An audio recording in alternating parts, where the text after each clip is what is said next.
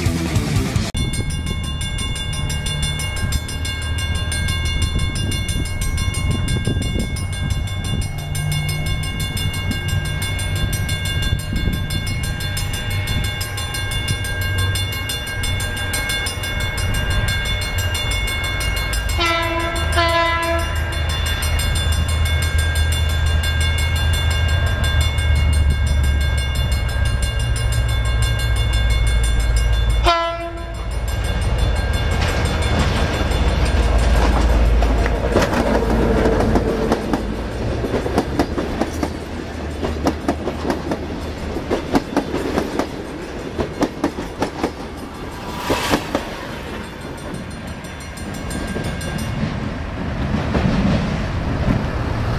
qué tal amigos? Qué gusto recibirte en el gran programa de Trenes de Argentina. Y hoy si hay algo que tenemos es un gran programa porque es la segunda parte de nuestro viaje imaginario en el Gran Capitán, este emblemático tren que circulaba por el litoral argentino desde La Crocia hasta Posadas.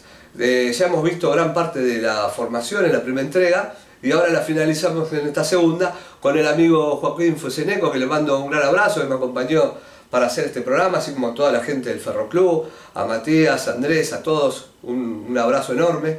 Eh, visítenlo, el Ferroclub de, Villa Lynch, pueden llegar en el tren Urquiza, eh, la estación Lynch, o en auto, este, hay lugar para estacionar por allí. Que así, bueno, vamos a arrancar el programa del día de hoy. Seguime por estas redes sociales, ahí tenés, te, te suscribís gratuitamente y tenés la posibilidad de ingresar a todos los programas que vimos hasta esta que es la cuarta temporada. Que así, bueno, vamos a arrancar, vamos a imaginar nuevamente que estamos dentro del tren viajando entre La Croce y Posadas. Y, bueno, trae muchos recuerdos, muchas cosas lindas este tren. Esperemos que, en algún momento tomen nota las autoridades de, lo que generaba, no solo la gente que viajaba, sino las economías regionales de, de todos los pueblos, de todas las ciudades por donde el tren este pasaba, ¿no? Que así, bueno, nada, es el deseo mío y de muchos, que así, bueno, por eso. Y vamos a arrancar. Vámonos más, por aquí, por tu tren.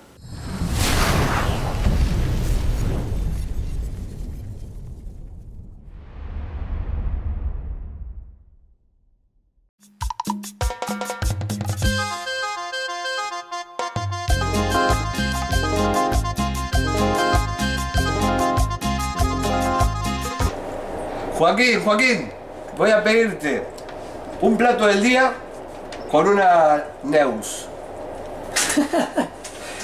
20 pesos más 6, 26 pesos. Y 4 pesos de propina. Redondeamos en 30. ¿Qué te parece? Avanzamos. Plato del día y una Neus. Espectacular, un lujo. Fíjense, acá están los, lo que ofrecía, ¿no? El último. Ya te lo paso. Ah, ahí está, bien, ahí está, justamente listo. Tenemos acá la carta que tenía, en, bueno, el último operador que fue TEA, ¿no? Lo que ofrecía y los precios, ¿no? Imagínense, plato del día 20 pesos, milanesa con guarnición 26. ¿Qué guarnición puede ser? Fritas. Bueno, Fritas, ensalada, ¿no? ensalada. Ah, una ensaladita mixta puede ser. Churrasco con guarnición 25 pesos, pollo, fíjense. Desayuno o café con leche 12 pesos. Y la bebida estaba en 6, la bebida sin alcohol. Y había cervezas también, 13, 16 pesos la grande. Vino de la casa, ¿no? Ahí una, una bajuana sería, ¿no? El vino ferroviario, de imagínense. ¿sabes lo que Ah, no? Ese no fallaba, ese dormía todo el día, te agarrabas una mamúa. Bueno, pero ese 35... Por suerte tenía dormitorio. Sí, no, si tenías el dormitorio era un lujo eso. Bueno, genial, ¿no? Y después estaba el postre, 7 pesos, que se servía mucho el vigilante, ¿no? Sí. El queso con. ¿Cómo era? Queso y dulce. Queso y dulce, exactamente, el vigilante. Bueno, eso era lo que teníamos acá como, como plato. Y fíjense después las bebidas espirituosas que tenemos. Coantro, que esto debe estar ya un poco. No, no, no, no quedó nada. Este, Ah. este, este no lo iban a dejar. Y fíjense, yo tuve esto, el sifón Drago. Para los ustedes eran jóvenes, viste ahora dice ustedes eran Sí. jóvenes, ¿no? Como son todos viejos. Pero el sifón Drago, ¿no? Que se cargaba de acá, se sacaba esta tapita, venías con una Una garrafita. garrafita. Psh, y cortaba y tenía soda hecha en casa, ¿no? Le ponías el agua a vos, se recargaba. este. Antes la, la soda no era tan fácil de, de conseguir y tenía el sifón Drago. Creo que sigue existiendo. Sí, sí, todavía. Después Sí, sí, tenemos sí. los, los viejos sifones, ¿no? Todo acá teníamos como una barrita, ¿no? Muy linda. Y fíjense las bebidas de, también de la época. Acá está, el vino era este, Eh, ¿viste? el el, viejo terminador. Miren, fíjense, miren qué lujo. ¿eh? Bueno, después teníamos un aparato de música ahí que quedó. ¿no? Bueno, acá los cajones, donde guardarían los utensilios. Y bueno, la barrita acá que está espectacular para rehabilitarse. Y ahora vamos a ver, fíjese esto, ¿eh? esto, esto es un lujo, miren. Y vamos a ver la cocina. Bueno, y ahora estamos en la cocina que, la verdad, todo acero inoxidable, Sí. ¿no? Una cocina industrial es esto, ¿no? Ahí vemos los, los hornos, las bachas, Muy ¿no? La- las heladeras, que allá también hay otras. La particularidad tenemos dos bachas. Hay Tenemos dos una bacha Ah, acá. sí, sí, sí, sí. Para la parte de las mesas, vasos, platos y tenemos otra bacha acá para la parte de cocina. Ah, perfecto, perfecto. Miren qué logística, ¿no? Y Sí, bastante sí. amplia la cocina, la verdad que tiene unas generosas dimensiones, ¿no? Y pueden trabajar por lo menos tres personas bastante cómodas por, Sí, la- bastante por el espacio y bueno, por la ventanita que te permitía acercar el pedido Sí, sí, las al comandas. cara al adicionista. Claro, exactamente, perfecto. Sí, sí, acá guardar todas las los vasos, tazas, todo lo que. Bueno, la Claro. verdad que está muy, muy bien armada la cocina, está muy buena. Vamos a acceder. Tenemos alacenas por todos lados. No, y los freezer, los freezer que Sí, tienen, ¿no? Mirá, ah, todavía tienen los- todos los platos. Vamos a pasar acá a la cocina. A gas. Miren lo que es esto. Mirá. Impresionante. Fíjense, acá la pavita para el mate. Planchita, Plancheta, eso, muy bien. ¿No? Acá todos los. completa los el horno. El horno. Dos hornos, acá tenemos otro. Las pizzas que se habrán hecho ahí los Oh. muchachos. Genial. Acá arriba también más espacio. Y después ya tenés un nivel que sería del agua, ¿no? Tendrá Claro, el agua para, para la cocina, ¿no? sí, Acá se, tenés el tanque acá arriba. está el tanque ahí arriba justamente. Entonces, claro, acá se lavaban platos, tazas, muchos requerimientos. Pero bueno, las historias que tendrá esta cocina, ¿no? Acuesta A lo largo de los años. a lo largo de los años de los kilómetros. Y la cocina era todo con, obviamente, gas licuado, ¿no? Con la Claro. garrafa, acá tenemos Sí. una.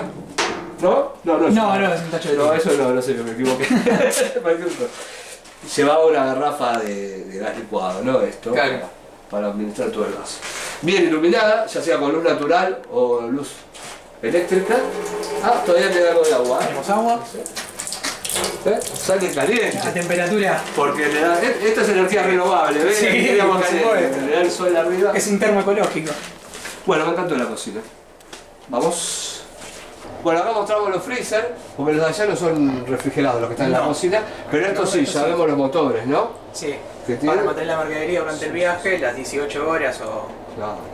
Las que sean, ¿no? Sí, sí. En la última época hasta 36 horas un viaje. 36 horas, imagínense, ¿no? Del, helado se Sí, no, minutos. si no tenías Y con esto. los calores de la Mesopotamia, ¿no? Que hasta la vida se dobla. Sí. Y los herrajes espectacular, cómo funcionan todos, de lo bien que quedan herméticamente cerrados. La verdad se nota la calidad de construcción de todos estos coches, ¿no? Genial, hasta luz tenía. Hasta luz tenía. No, no, espectacular esto. Recuperar esto es una maravilla. Listo, ahí cortamos.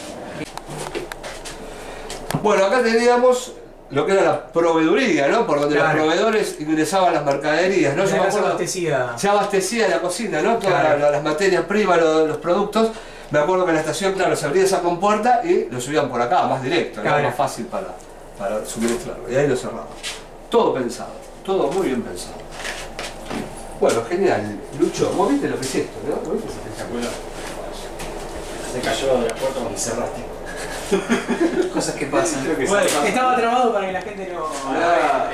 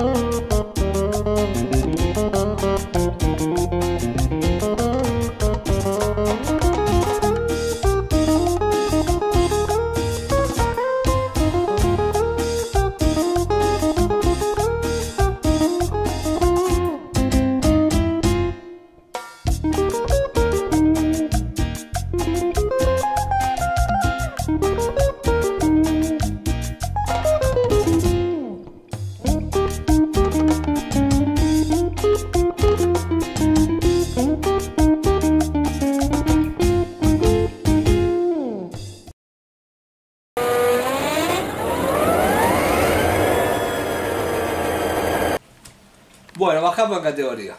Acá. Se nos acabó la No guita en, tanto. en el coche comedor, se nos acabó la guita con los tragos, con el Bajamos pero no tanto. Pero no tanto, no. Estos coches yo me acuerdo que eran cómodos, estas butacas son cómodas. Sí. ¿no? Y otra particularidad, ¿no? Que se giraban los, los asientos y a veces Claro. se, se ponían buenos. Después, bueno, tiene ventilador. Ya perdimos el aire acondicionado. Perdimos algo importante. Hoy creo que algo de lo más valioso, lo que más valora la gente hoy en día en los trenes son el aire acondicionado. Sí. ¿No? Me parece que es un factor importante. Pero bueno, coche primera. Coche marca. primera clase, marca Fiat Concord, también Materfaber, fabricado en Córdoba, en Argentina. Este es del año 70. Bueno, también parte muy característica de la flota que tuvieron los ferrocarriles en Argentina porque toda la línea tuvieron estos coches con diferentes características, diferentes fabricantes, pero tanto la métrica, la media y la ancha tuvieron primera Sí, sí. De ese estilo. Yo viajaba a Mar del Plata en esto, y en invierno me acuerdo que capaz me quedaba dormido con el pie acá en la estufa y me empezaba a quemar y me despertaba. Otra particularidad era la luz, que funcionaba con una dínamo, ¿no? Claro. y a veces el regulador de voltaje no estaba muy bien, entonces cuando bajaba la Y la velocidad, batería también. o la batería, claro. Eh, sí, generalmente sería la batería que, bueno, bajaba, se bajaba, se hacía casi, se, se oscurecía y de golpe Claro, se prendía de golpe. Cuando frenaba bajaba la luz. Claro, porque no generaba ya la Claro. dínamo. Entonces ahí tenía que enganchar la batería y a veces o no enganchaba o estaba un poquito baja o estaba muy fuerte, de golpe, o sea, bajaba Claro. mucho la luz y de golpe se prendía con todo y se despertaba todo el mundo, ¿no? Una particularidad que tenía, ¿no? Los ventiladores que hoy sería algo peligrosísimo. Sí, sí, hoy No, los ventiladores así, pero bueno, nadie, bueno, poca gente medirá dos metros como para hasta ahí. Tenía ya así luz de, de lectura en este caso, Claro. ¿no? Y él, eh, me acuerdo siempre del cenicero, ¿no? Que tenía acá. Sí, Este también, Acá está. ¿no? Hoy está prohibido fumar en hoy los está coches, prohibido, pero bueno. Pero en En época el 70 era lo habitual. era lo habitual y bueno, está bien como es ahora, ¿no? Sí. Bueno, cortamos. Esto lo cerramos.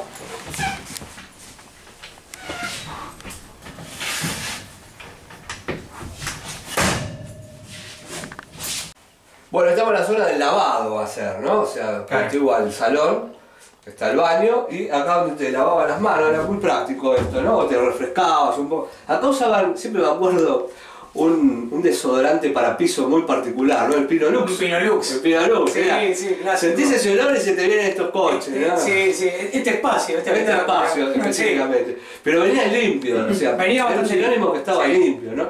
Y bueno, teníamos el, el pedal, que Sacó el pedal, claro. que eso era algo divertido también, jugar con eso. Yo de Sí. niño jugaba mucho con eso. Y este, ¿no? O sea, sacaba de estado potencial al agua del tanque de arriba y salía por, por la canilla, ¿no? Pero Claro. con el pedal. Después otra cosa interesante era el bebedero este, ¿no? Que teníamos el, acá para el agua también, esto, Claro. ¿no? Y ahí no me acuerdo qué era lo que ponían ahí, la verdad no El matafuego estaba acá. Bueno, después vino el matafuego, ¿no? Pero. Bueno, y acá teníamos el baño, Acá venían los vasos, me parece. este caso baño de El otro damas. sí que pero está más lindo. Sí, esto todo va a ser inoxidable. Inodoro. Claro, sí, es el de damas. No era normal. No, bueno, pero este porque es el de damas, pobre, mujer, pobre chica, me vas a mandar. Sos despiadado vos también. Después teníamos esto que era una letrina, letrina. ¿te acordás la Y letrina? el Mirá. movimiento Sí, era, era complicado porque ibas atajando la puerta. Sí, sí, sabés cómo. Era un desastre. Era muy difícil de controlar eso, pero bueno. Ahí jugó el Pinolux. Tacho de basura, ¿no? Este perchero nunca, no sé, sería para, así que, no sé, para estar más Claro, cómodo ir al baño. de salir del baño para lavarte las manos. Era otra época, hoy no, Claro, no dejaría sí. un saco. No, no, por nada en el mundo. Vamos.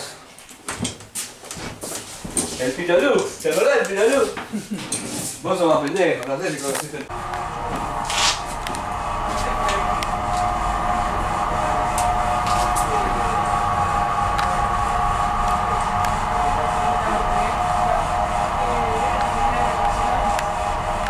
Diversión.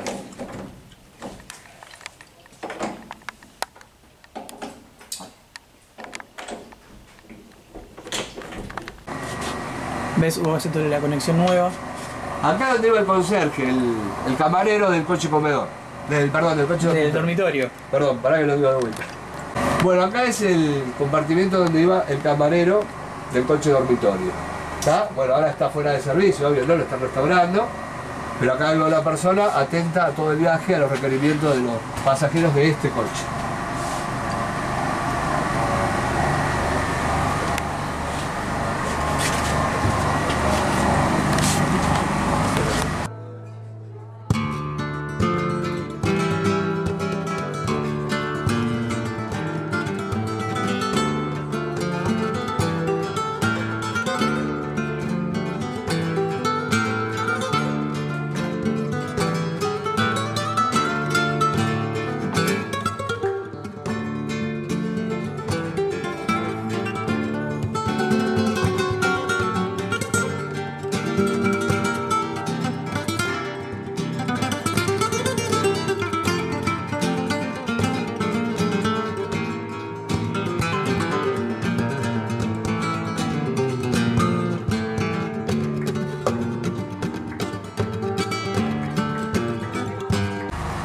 Acá tenemos para el dispense para el agua fría, ¿no? Estaría bueno si fuera caliente para el mate, ¿no? Allá en. Misiones que todos toman mate, ¿no? Sí.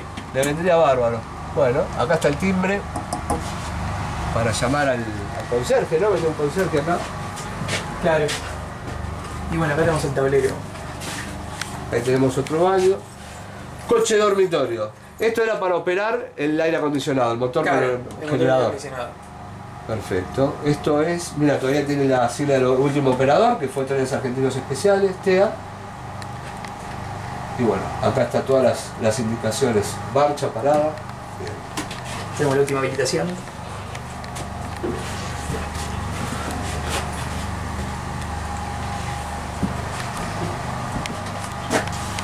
Ah, mirá, la Y esto ya, sí. Tecnología de punta para la época. Sí, claro. Bueno, acá está la famosa letrina, que, que usted se apoyaba acá, y ahí había que apuntar. No era nada fácil, era como ir surfeando acá, ¿no? Pero bueno, ahí caía directamente a la vía. O sea, si parabas en una estación, era un espectáculo bastante divertido desde afuera, ¿no? Que así, bueno, este era el baño de hombres, ¿no? Por, por eso está a disposición. Aunque acá diga de damas, pero debe estar mal puesto. No, no era el de damas, imagino, va, no sé.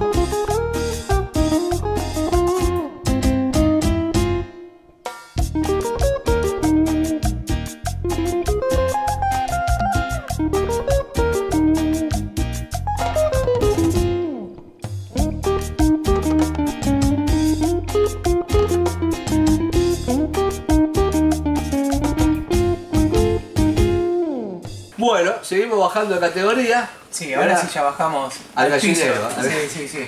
A alguna época le decían segunda, después le cambiaron el nombre claro, a la- turista. Creo que ya vino con la época de ferrocarriles argentinos, mientras era empresa ferrocarril de Claro. Estado. Y la Urquiza tuvo una particularidad que le decían única también. Ah, sí, la segunda. Estos mismos coches, había coches que tenían. Sí, la idea era no decirle segunda. como de segunda ya en la época quedaba mal, ¿no? Quedaba mal, porque Entonces, la primera y la sí, segunda. estos son de segunda. Claro. ¿no? Claro. O son de la B, no, no. bueno, acá la configuración es 3 más 2. 3 más No, 2. esto Ya perdimos el aire y el asiento individual.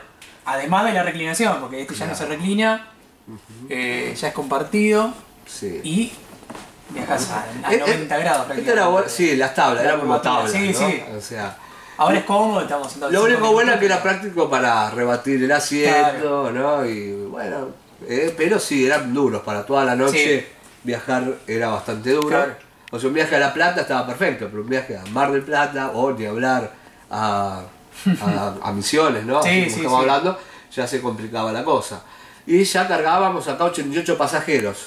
Sí, bueno, tenés más capacidad de carga, entra mucha más gente y el coche también es mucho más cómodo en ese sentido. Y si un poco vacío, algunos se hacían en la cama, ¿eh? Sí, sí. Agarraban el de 3 y se ponían cómodos. Temporada baja, Sí, no sé si yo lo habré hecho alguna vez, pero la verdad que era una a buena Junín opción. recuerdo haberlo hecho. Bueno, viste, sí, la verdad que Sí, si iba sí. vacío se podía hacer esas cosas. Pero bueno, en temporada no. No. En temporada las familias, los nenes, las mochilas, los equipajes. no, se llenaba esto. No, sí, no, Era un descontrol. Sí, las conversaciones que se Sí, sí, sí, sí. Era Pero muy, bueno, era, muy era el clima. muy social, ¿no? Sí, sí, sí. Muy social. En algunos trenes todavía queda ese clima. Sí, sí, sí, todavía aún, Sí, sí, aún sí. perdura eso.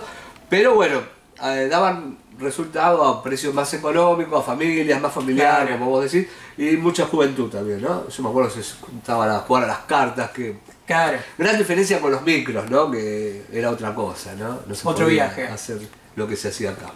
Que así, bueno, hasta acá llegamos, no vamos a seguir disminuyendo de categoría, porque No, no, ya está. vamos a terminar de, de- En asiento de madera. Pero sí, entonces hasta acá llegamos. Bueno, esta, vimos todas las categorías, ¿no? Esto Sí. era el tren que iba a Misiones, el Gran Capitán, tenía una composición con estas categorías. Tanto esta unidad como la anterior, que vimos el primera, fueron rescatados por Ferroclub Argentino en la época de las privatizaciones. Estos coches están en el Ferroclub desde hace, desde hace años. Hace más tiempo que Sí. nosotros. Sí, Y Este, bueno, por eso mantienen la particularidad de la originalidad. este que marca es este Matterfer. Fiat Concord, eh, Ah, sí. Fiat Concord. Matterfer, sí. El Matterfer, sí. Del Cordobés, 70. Cordobés. Sí, Bueno, perfecto. Entonces, se mantienen originales los ventiladores, las fórmicas. Sí, sí, esta está listo para salir. Sí, como sí. Cuando yo me Eh, subí la respecto última al vez. DTA, claro, respecto al DTA tenemos otra reforma, viste, tener el toma de 220, las tres patitas. Claro. Cambiaron algunas cosas, pero bueno, estos coches están totalmente originales. Le falta el olor al Pino Lux y ya estamos. Y ya estábamos. Sí, sí.